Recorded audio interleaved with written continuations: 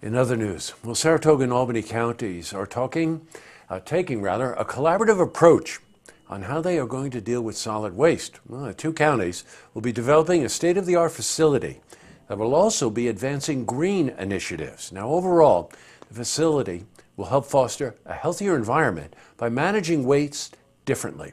Now, we spoke to Daniel Rourke. He's executive director of the Saratoga County Sewer District what we used to do with our biosolids, we used to incinerate it. So it wasn't the greenest um, or most sustainable way uh, to get rid of what is a residual of wastewater treatment.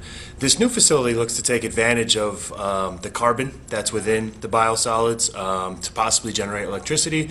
Um, it creates a biogas with the process that we're looking at. So we're definitely looking to, looking to take advantage of that and also um, uh, cut costs.